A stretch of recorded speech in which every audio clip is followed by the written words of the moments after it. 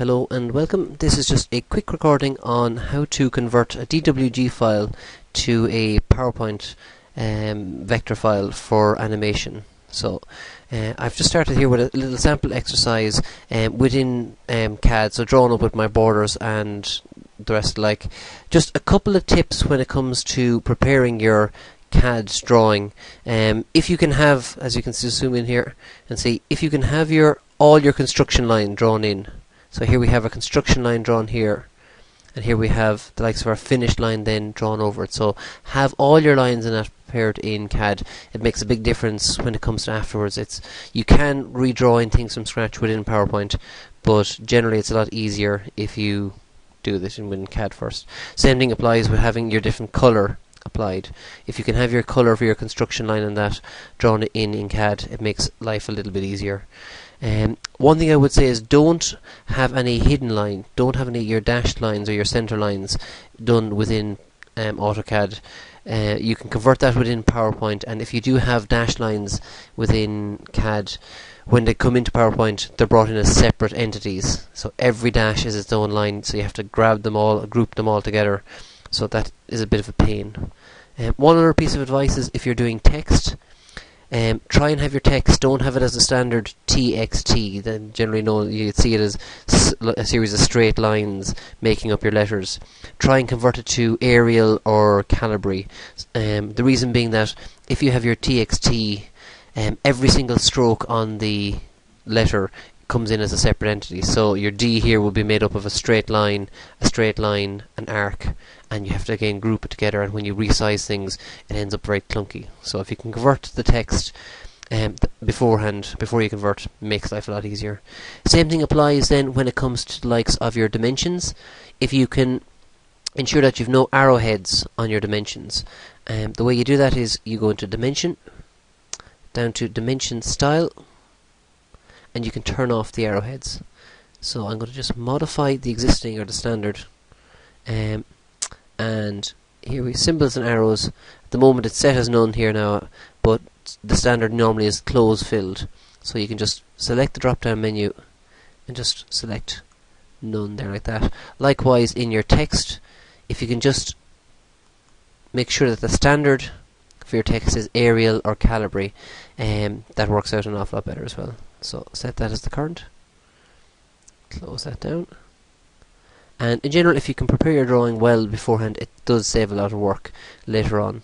So that's my symbols and arrows changed, my text changed, so I can just click OK and set that as the current. Then close that down. And you'll see when I go to apply a dimension, let's apply a, a line dimension here, that has the effect of applying my dimension without any arrowheads. So we can apply the arrowhead afterwards. Um, that's my drawing pretty much prepared and as I say try and keep everything as clean as possible within your drawing. To export it then to something that you can use within PowerPoint you go to file and from your drop down menu there select export. So here's your export window and we're just going to export this as a sample and we're going to save it to the desktop. And you can see Metafile is here as the standard because I've been using this recently enough. Um, probably won't be for yourself. So if you hit the drop down menu here for type of file, just WMF Windows Media Metafile and go Metafile and just save. Now it won't save it straight away. You have to select the object that you want saved. So that's selected. You can hit enter and then that will be saved. Um, just a word of warning, if you have something like this where part of the object is out of the screen, even though it may be highlighted or selected, um, then it will be cut off when it comes into PowerPoint. Just put that guy there. Um, so that's our fella here. Done. If I minimize him down, we can see there's our sample meta file on our um, screen. So that's what it looks like. Uh, if I open up my PowerPoint,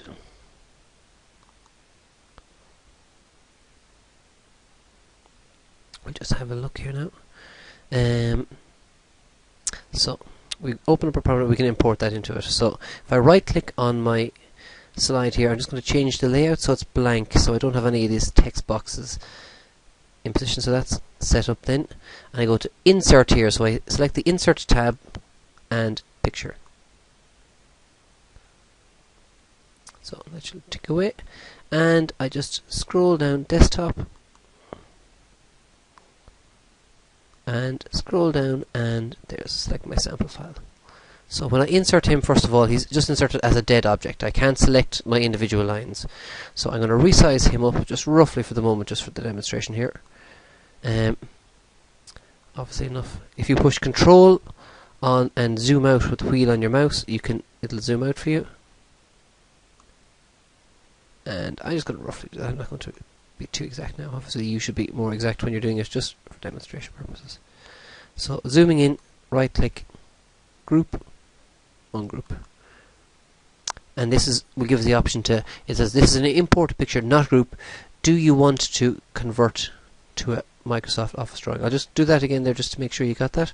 So we right click we select the object we right click over it and we go down to format picture oh sorry pardon me group sorry a group ungroup and then we click yes and you can see straight away the text itself will automatically clean up. I mean, it goes from being a pixelated image to a nice vector, clean line image. Um, now, everything is still, if I zoom out here, everything is still all in the one entity. So when I select it there like that, everything you can see is still part of one box. So what I might do is I just select it and right click again, and for a second time hit group, ungroup, and you can see it breaks everything up into its individual entities. So if I hit escape out of it now, you'll notice that if I hit on an empty space, you get this big box around everything. That's a box coming from the original file. So that's a bit of a pain because if you want to select an individual entity, you'll automatically select this first and you'll be trying to select something and you won't know why it won't highlight it. So if you zoom out and just select the blank space, that'll select the overall box and just delete him. And straight away everything centers up. So we're into our main image. Um, just to prepare your file this is just going to go through preparing the file and then the next sh show will show you just about the basics of animation. But to select your file if you just want to select zoom in on an object just select the object control and the wheel will zoom in an object and I'm just going to show you how to resize the lines so we can just drag a box over all our lines here I'm going to just apply all these with one consistent line weight. So rather than select them individually, it's easier to select them all. If I right click then, so if I just, you must right click over an object. If I right click over here in an empty space, it'll unselect things. So I just reselect everything again. Browse over the likes of one of our boxes, any of them at all, right click, and it'll bring up your little drop down menu. So I go to format object and format object is where a lot of what we're going to be doing takes place. You can see here we have a series of options available, line color being one, line style being one of them. So line style is going to be where I'm going to change my line weight. So for this one here I'm going to just change it to 1.25 you can see the effect that that has. It, you know, it enlarges it, the line weight. You can also choose whether you want to have it flat or round to show you what that does. If I zoom in on the objects themselves, so I'll just exit out of that before I do that. If I zoom in on any particular line, you can see, let's even uh, one of the joins here, we can see they're square at the moment. If I just select the two of them here, right click, format object, I can apply a round cap here. And moving over you can see closing that. You can see it just rounds off the corner. So if I just move that out you can see this line here is rounded on the edge whereas this one here is square on the edge. So it makes it a little bit tidier. So control and Z just undo that so to select say the likes of my line let's say in this development here um, I'm going to first of all just tidy up my drawing, say change my line colours to something consistent. So for my say construction, I'm going to select each of my construction lines like so.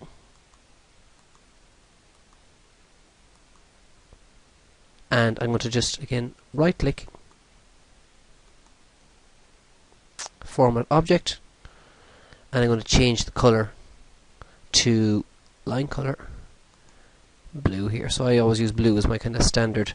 Likewise for the likes of um, say the likes of dimensions and that orange is always kind of a nice one. But as long as you keep it standard I think is the main thing so that it doesn't confuse students.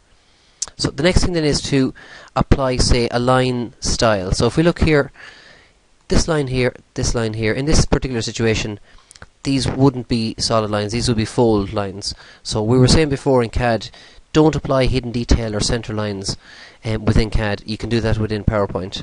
And again, this happens by right-clicking, going to Format Object,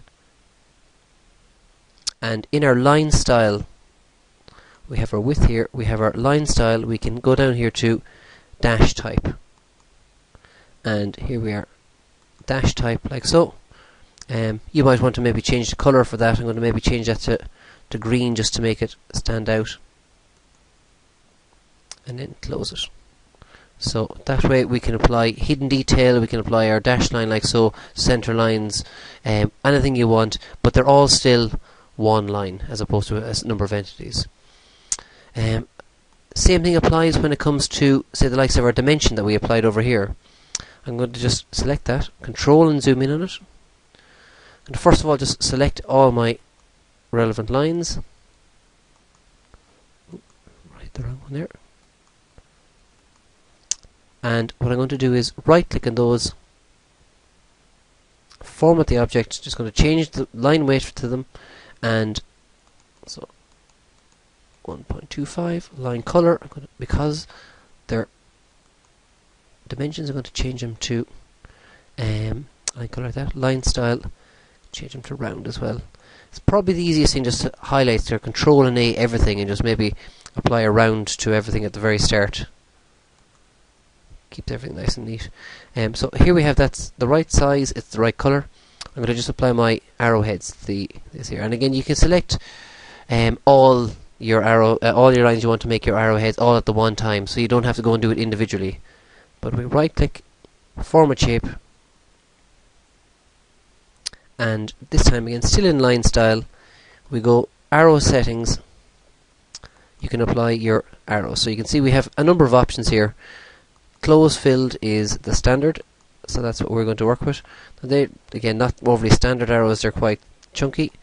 So below here we have end size. We can apply something a little bit more standard.